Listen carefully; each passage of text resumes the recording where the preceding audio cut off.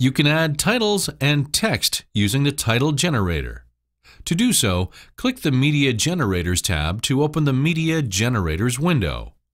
On the left side of the window, you'll find a selection of media generators that will help create background graphics, textures, and titles. Click Titles and Text in the list.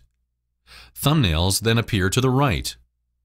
These are text templates that you can use for your titles.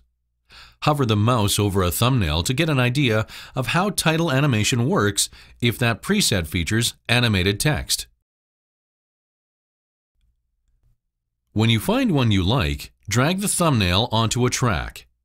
The title dialog opens and you can enter your own text here, as well as change text properties as in any text editor.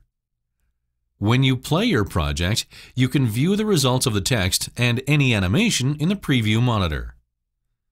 The title generator offers many options to make precise text adjustments. For example, in the lower section, you can add an outline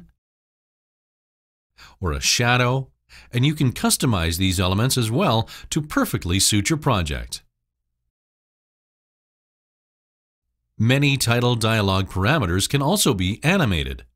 To do so, click the animation symbol. The keyframe animation area opens. Move the playback cursor inside the keyframe animation and adjust any parameters you'd like to animate.